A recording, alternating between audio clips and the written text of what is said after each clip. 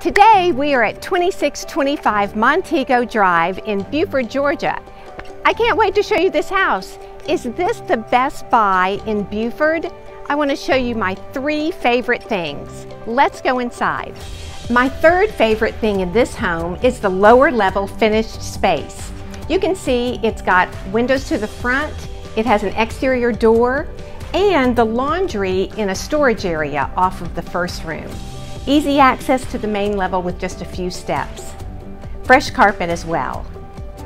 My number two favorite thing about this house is the renovated kitchen.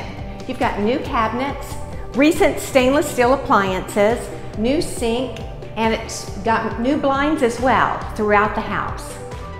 And my number one favorite thing about this house in Buford is the hardwood floors throughout the main level, upstairs, the hall, and all the bedrooms. Hardwood floors throughout the main and upper level.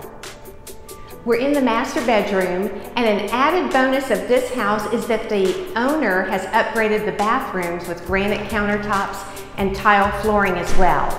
Thank you so much for joining us. If you would like a private tour, please let us know.